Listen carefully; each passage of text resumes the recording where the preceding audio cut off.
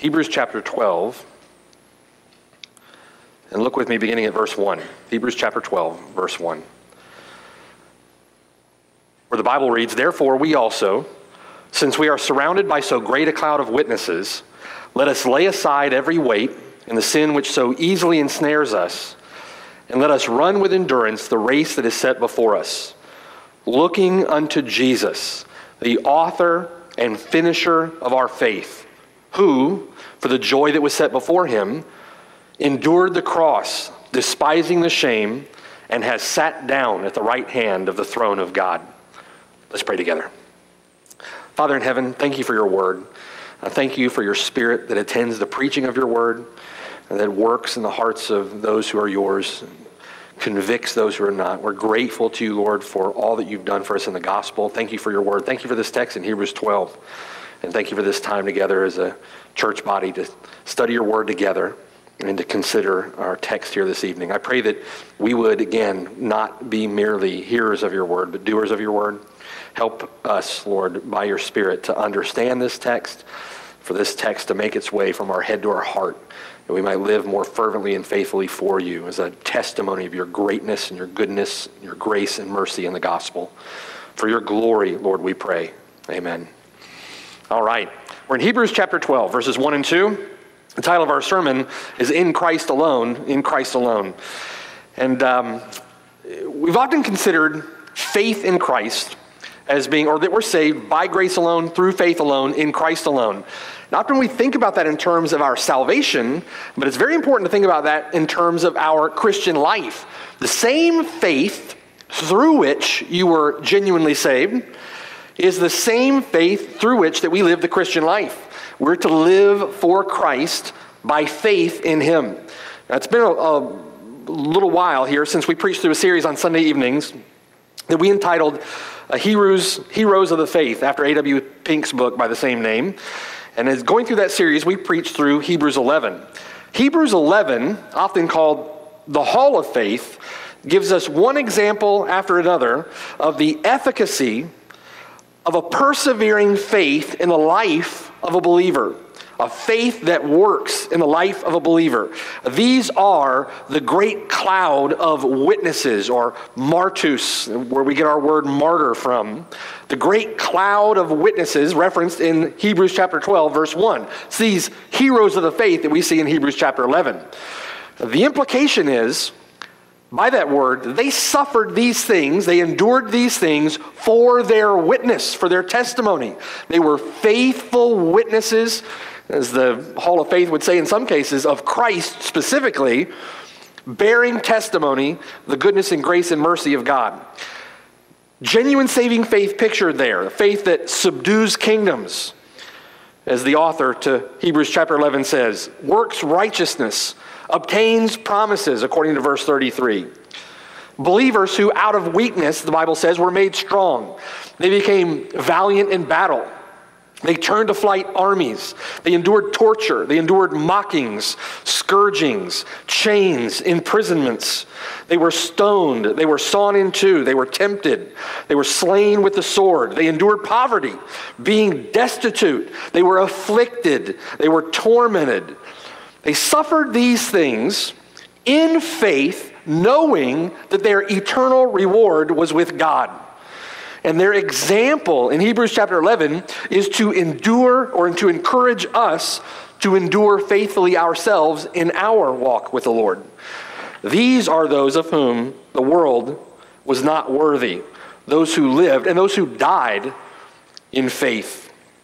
Having been justified by faith, the just shall live by faith by faith in Christ alone. And that's the testimony of Hebrews chapter 11. These make up the cloud of faithful witnesses. Now, that context, the context of Hebrews chapter 11, is the context then of Hebrews chapter 12. If you look at verse 1, context is Hebrews chapter 11 and those heroes of the faith that who by faith lived in faith, by faith, and endured to the end.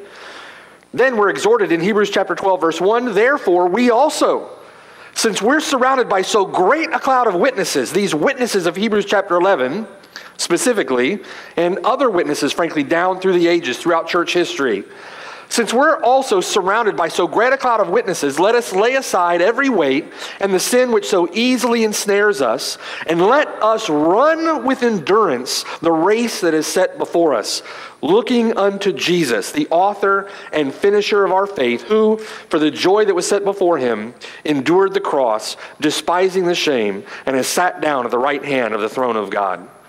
Now, the author of the letter to the Hebrews exhorts us in verse 1 with this let us run with endurance the race that is set before us. That's the, the focal point of this passage. Let us run with endurance our race, the race that is set before us. Uh, this part, this passage is part of the, the lettuce patch of the book of Hebrews. Let us, let us, let us. Well, let us run with endurance the race that is set before us. This is the focal point of the text, the primary exhortation. So let us break this down, right? The race being referred to here is the Greek word agon. Agon. It means struggle or fight. It's where we get our word agony from. It's the same word, it's interesting. Same word used by Paul in 2 Timothy chapter 4 verse 7 where Paul says, "I have fought the good fight, agon, they're translated fight. I have finished my Race, translated there in 2 Timothy 4, verse 7, but the word is dramos, it means course. This word for race, let us run with endurance the race that is set before us. That word for race means struggle, it means fight, it means battle. The word for race speaks of a rigorous, grueling, agonizing fight. Do you conceive of your Christian life that way? Let us run with endurance the rigorous, grueling, agonizing fight that's been set before us. It's something that will require great effort. You must expend great effort. It's going to take determination, it's going to take discipline. Strenuous exertion here, it's conceived of in verse 1 as running. Running. Not just running, though, running with endurance running with endurance, without giving up, without slowing down, without stopping, without laying down in the road. All right? This is not a sprint, this is a marathon. It's going to take great resolve. It's going to take great steadfastness, a pressing forward, great determination. You will fight weariness along the way.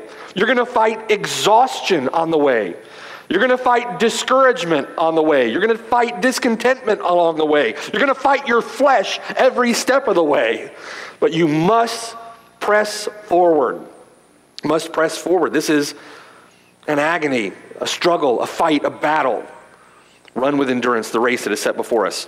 There are two implications given from verse 1 and this idea or this concept of running the, the race with endurance. Two implications. One is this it implies conceiving of this as a race in verse 1. It implies that we're competing against someone or against something. A race would imply that we're competing. We're not competing against each other, right? Not trying to win where the other person loses. No, our competition, so to speak, our fight is against the world, the flesh, and the devil.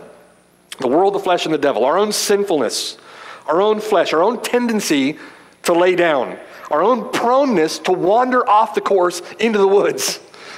We're fighting our own flesh, right? We're competing against something. It's the world, the flesh, and the devil.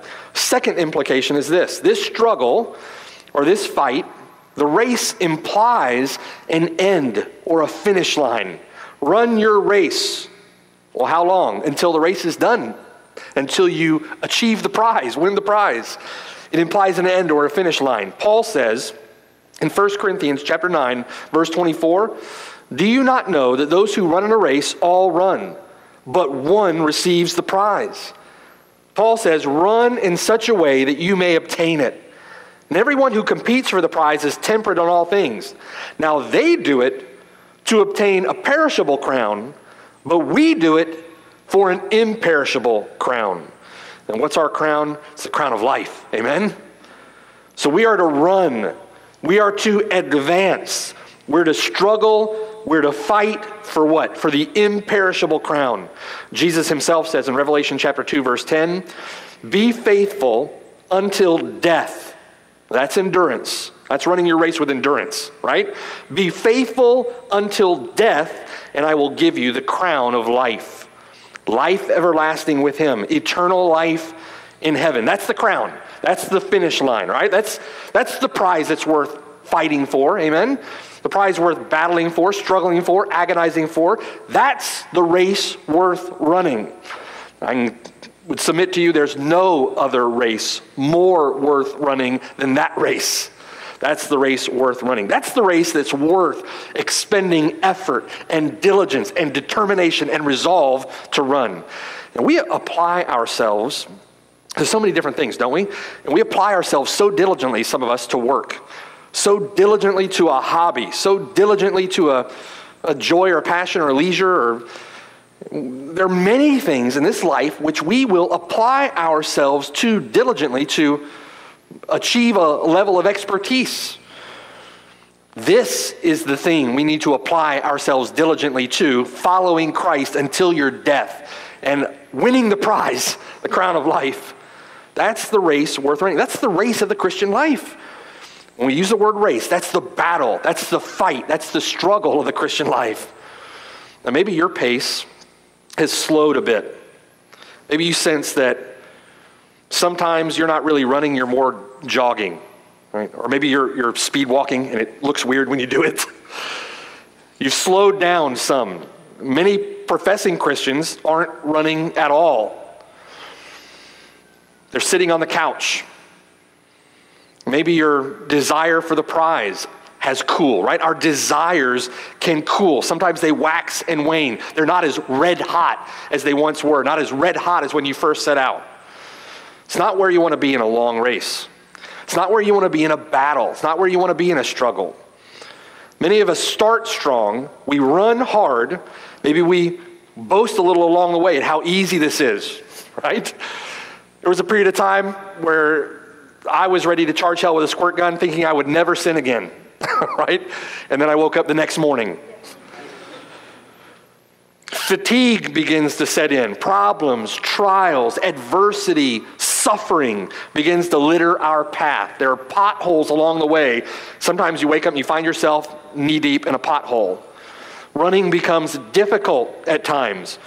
Maybe you begin to think after a while, you know, I don't need to run. I am a Christian. I was saved. And you think to yourself, I can coast now. No one's going to snatch me out of his hand. Or worse yet, you may think, I can't make it. I can't continue to do this. You're ready to throw in the towel. The Word of God in Hebrews chapter 12, verses 1 and 2, gives us great motivation to press on in the fight. Okay? Great motivation to press on. When you feel tired, when you feel weary, Hebrews chapter 12, verses 1 and 2 should give you great motivation to press on. When you are discouraged, when you're beaten up over the head and shoulders with something, this, that, or the other thing, Hebrews chapter 1, 12, verses 1 and 2 gives you motivation to be determined, to be resolved, to continue on. It's motivation here to fan the flame of our desire and renew our commitment, our resolve to run hard. the author provides one such motivation for us in verse 1.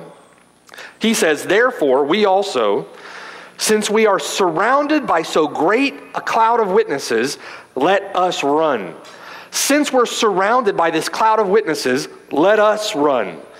Now, we are, from Hebrews chapter 12, verse 1, figuratively surrounded by this victorious and conquering company who have run their race and received the prize. They've run the race before us, and they've run it successfully by faith, and they've won the prize.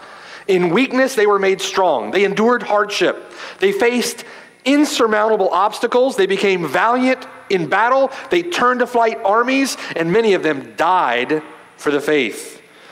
If they endured, if they ran that hard, if they were steadfast by faith, if they didn't throw in the towel, then you can make it too. I can make it too. That's the motivation of Hebrews chapter 12, verse 1. Run hard, brother. Run hard, sister, because those saints made it, and so can you. So can I. In your own power? No. You're running in your own power, you will fail. It's by faith. Many of them died in faith. Faith. They ran in faith. We have these saints as an example for our race by faith. What the saints in Hebrews 11, the Hall of Faith, are figuratively shouting to us is this don't give up, don't give in. You can make it if you run by faith. And not just make it hobbling along, right? You can make it running and running with endurance. Now, if that motivates you, or you think about this, does that prize motivate you? Well, then how do we apply it? How do we fight? We're provided in Hebrews chapter 12, verses 1 and 2, with three battle strategies from our text. The first is this you lay aside every weight. The second is this you lay aside the sin which so easily ensnares us. And the third is this you look to Jesus by faith. You look to Jesus by faith. First, you lay aside every weight. Verse 1. Therefore, we also, since we are surrounded by so great a cloud of witnesses, here's how you run. Here's how you struggle. Here's how you fight. You lay aside every weight. The word is ankos. It means impediment, it means hindrance or burden. Now, one point that is so helpful here is the distinction between weight and sin. You're to lay aside every weight and you're to lay aside every sin. It's not just that we're to lay aside sin, we're to lay aside anything and everything that hinders our running. Now, these things may not be sinful in and of themselves, but if they impede you, if they slow you down from running, then put them away, put them aside, lay them aside. Right now, the fastest man on the planet is Usain Bolt, right? He's fast. It's amazing to watch that guy run. What would happen to Usain Bolt if you put one one pound weight around one of his ankles? No longer the fastest man on the planet, right? It's going to have an impact. The Christian, the professing Christian, often carries a lot more than a one pound weight in his shoe. There are often many things that compete for our attention. We have many other priorities that get in the way. We don't manage our time well. We give too much priority to work, too much priority to leisure, too much priority to TV, too many other responsibilities when we should be seeking first the kingdom of God. We have all these things that weigh us down. Now, is watching TV sinful in and of itself? No. But if watching TV hinders your running, then set it down. Lay it aside. It's not worth it. If there's something that gets in the way, put it aside. What may be weight to one person may not be weight to another person. So, to one person, maybe what you listen to on the radio is weight to you, not weight to somebody else. Maybe how you use your time is weight to you. Maybe it's not weight to somebody else. You've got to work through that on your own. We're so prone to long for and to pursue the things of this world when the Bible says that he who puts his hand to the plow and turns back is not fit for the kingdom of God, right? Lay it down, put it aside, lay aside every weight, everything that keeps you from running, everything that hinders your run, everything that hinders your battle. Just set it down, lay it aside. Now, some of you may think, well, I've got to do away with all my leisure time. no, no. You'll find out very quick, quickly that you need rest, right? Use wisdom in thinking through that. Secondly, first, you're to lay aside every weight. Secondly, we're to lay aside the sin which so easily ensnares us. Sin is our chief impediment. It's our primary snare. We're so easily ensnared by it, not just hindered by it, we're caught in its snare, we're caught in its trap so that we cannot run. It's like standing knee deep in a pothole. Both weights or hindrances or burdens or impediments and sins we're to lay aside, lay aside every weight and the sin which so easily ensnares us. We're to cast it off. The word literally means to shed it like a garment. You're just to take it off, set it down. Anything that gets in the way of our running, why? Because to stop running, or to stop fighting, or to slow down in the fight, is to start losing the battle. Simply to stop running, to, To halt the exercise of yourself toward godliness is the first step in the direction of apostasy. And what will be the weight or the sin that entangles us so as to make us fall? Our author here exhorts us, exhorts us to lay it aside. Lay aside every weight. Lay aside the sin which so easily ensnares us. And lastly, let us run with endurance the race that is set before us, looking to Jesus, the author and finisher of our faith. We're not to look at those saints in Hebrews chapter 11. We're to look at faith working in those believers. We don't look side to side at the people running alongside of us, although we are to follow their example, imitate them as they follow Christ. You don't stare at your feet, or you're going to be falling all over yourself, tripping over your shoelaces. You don't stare inward at your deceitful heart. You can't look to a pastor in that sense. You can't look to a guy that you listen to on a podcast. We are to fix our eyes. We're to steel our gaze on the Lord Jesus Christ, on the Lord Jesus Christ in Christ alone. Now, how do we practically do that? Maybe it's looking sometimes at the example that is set and following an example as you gaze at Christ and follow Him. You do it through His Word. James says in 121, chapter 1, verse 21, lay aside all filthiness and overflow of wickedness. Sounds familiar, doesn't it? Lay it aside. Lay aside all filthiness and overflow of wickedness, and receive with meekness the implanted word which is able to save your souls. We don't, when James says receive there, we don't receive the word like we receive a pair of lungs. Like at some point, you received your lungs, and now your lungs are there, they're in your chest. You have them, you've received them, and you don't even pay attention to them anymore. They're just there, right? Until some problem comes up, then you pay attention. We're not to receive the word like we receive a pair of lungs. We're to receive the, the word like we receive oxygen in our lungs, right? We breathe it in. We need it, and we breathe it. We take it in as we need it, which is how often? All the time. We absolutely, it's necessary to life, and so we receive it as often as is needed, and we meditate on that word which we've received. You receive with meekness the implanted word, you breathe it in. We need His word. We practically do it through prayer, right? Dependence upon Him in all our circumstances. We pray uh, in our circumstances and depend upon Him in our circumstances. I'm, I'm grateful for Spurgeon writing about this in Spurgeon's example. One of the things that Spurgeon did in prayer was to pray before every change in his circumstances. So if he was leaving his study, first he would pray and then study. If he was leaving his study to go into a meeting, he would pray before going into the meeting. When he was leaving the meeting to go to lunch, he would pray before he went to lunch. When he was at lunch, he would pray for the food pray for who he's going to talk to after lunch. When he was going back to a class, he would pray before going to the class. Every change of circumstance, he was just depending upon the, God, the Lord in prayer. So pray. We depend upon him. We practically look to Jesus through prayer. Paul says to seek those things which are above, where Christ is, sitting at the right hand of God. Now, why? Why is that? Because the Lord Jesus Christ is the archegos, and the teleotes, the teleotes of our faith, the author and the finisher of our faith.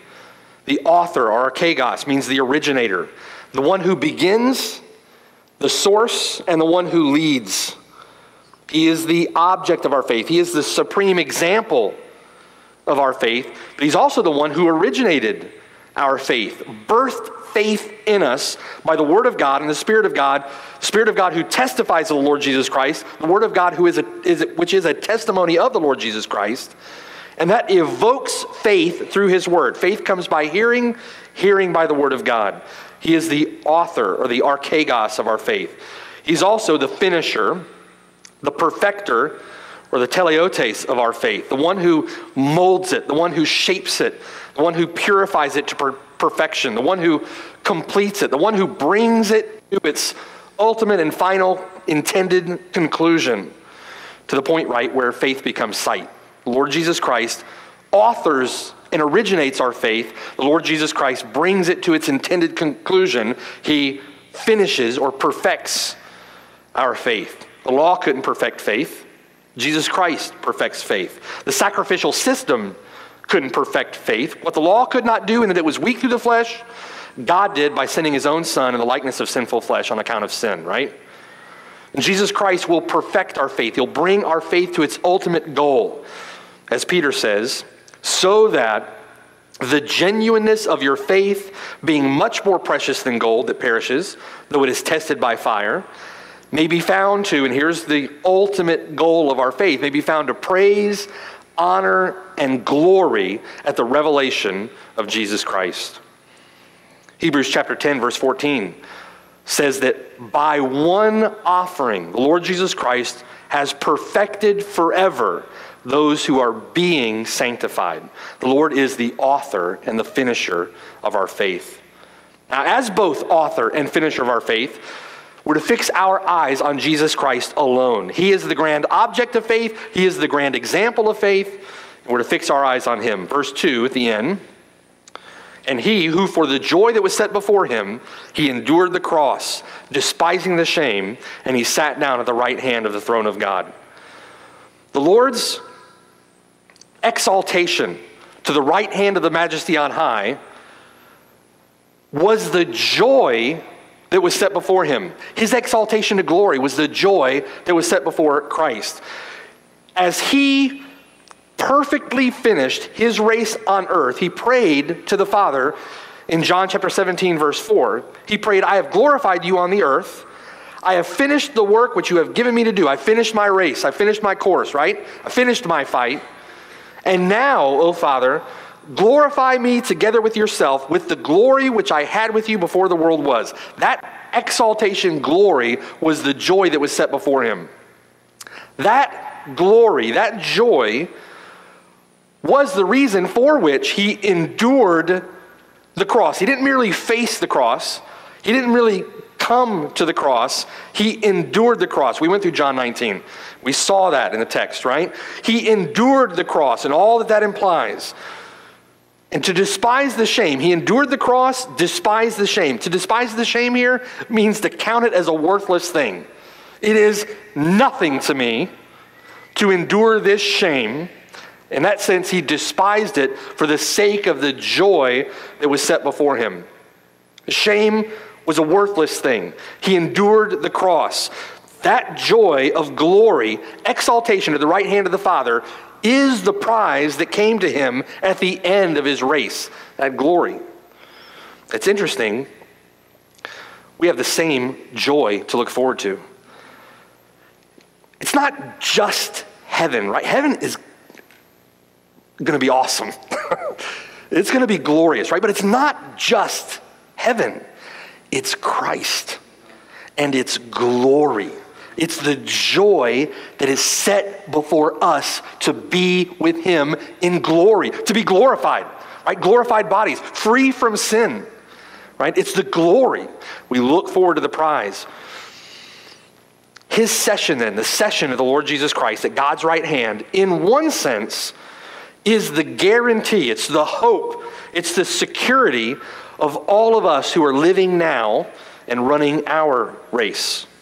His session is the guarantee, the hope, the security of all of us as we run our race. And so we then must look to Him. It's faith in Christ alone as we run our race. We fix our eyes on Him. He's seated there making intercession for us. He authored our faith. He will finish and perfect our faith. He'll bring it to conclusion, bring it to completion. The life of faith from beginning to end. Certainly, the life of faith as we follow Christ must be a life of faith in Christ alone. When you, running your race, battling, fighting, when you fix your eyes on Him, when you trust in Him, when you depend upon Him, you know that He is the author of faith, He's the object of faith, He's the finisher of faith, He's our prime, supreme example of faith. And as surely as he has endured the cross for you, as surely as he bore the shame that you deserved, And as surely as he is now raised, seated at the right hand of God, living to make intercession for his own, as surely as all that, he, through faith, will preserve you, will protect you, and will perfect you and bring you home one day. He is the author and the finisher of our faith. All praise, honor, and glory to the author and finisher of our faith. Amen. Let's pray. Father in heaven, Lord, thank you for these glorious promises, Lord. We rest in you for them, we trust in you for them, we fix our gaze upon Him for them. You, Lord, are, are our joy. You, Lord, are our hope. And we know, Lord, you are also uh, our guarantee, our surety, our security.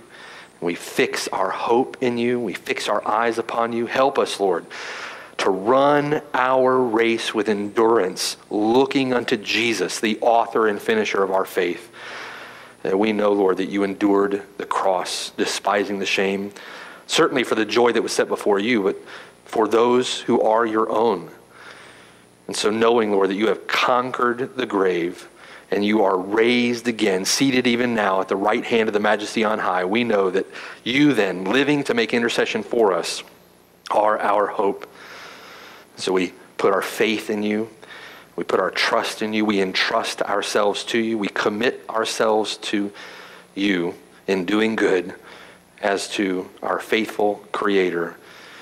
And we love you, Lord. We thank you. We trust in you for these things. Help us, Lord, to run Help us, Lord, to fight. Keep us, Lord, from slowing down or moving backwards or getting slothful or lazy or apathetic or sluggardly in our fight. Help us, Lord, to be encouraged by these glorious examples that we see in Scripture that you've given for our admonition, but not to be set our eyes upon them, but to set our eyes upon the object of their faith, who is the object of our faith, that we may run as they did for your glory and for our ultimate good. We look forward to that day, Lord, where faith becomes sight. In Jesus' name we pray. Amen.